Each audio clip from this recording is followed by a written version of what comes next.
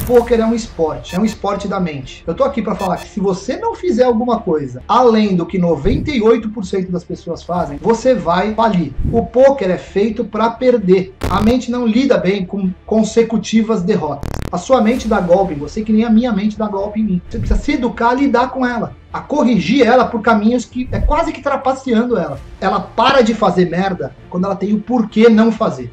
Você precisa, o máximo que você puder, ser honesto com você mesmo. Se você não for honesto com você e aceitar o tilt como algo que seja natural, você entrega demais decisões boas para as outras pessoas com valor. Eu preciso colocar minha mente em estado de relaxamento e aí dar os comandos para ela, para ela fazer isso que eu estou pedindo para ela fazer.